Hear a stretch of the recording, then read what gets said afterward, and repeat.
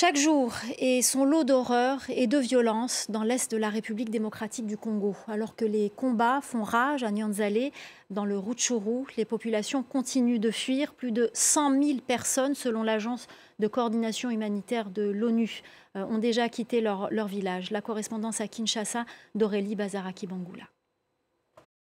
Au moins 15 personnes ont été tuées lors d'affrontements violents dans la chefferie de Buito, selon la société civile. Des milliers d'habitants ont aussi fui la zone à pied, des baluchons sur le dos. Alors plusieurs témoins que nous avons contactés nous disent que des détonations d'armes lourdes ont commencé vers 5 heures du matin lundi.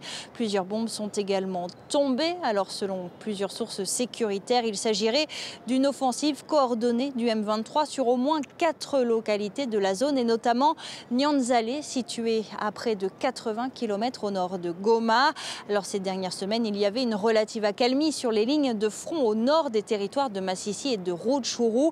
Mais depuis lundi, des violents combats ont repris. Le 23 est en train d'étendre euh, la zone euh, sous son contrôle et de, de peut-être conforter sa, sa, position. Et tant qu'ils n'auront pas devant une force qui les, qui les, qui les arrête, et tant que le, leur soutien extérieur n'auront pas suffisamment de pression pour éviter de, les armer, ils continueront à prendre des territoires.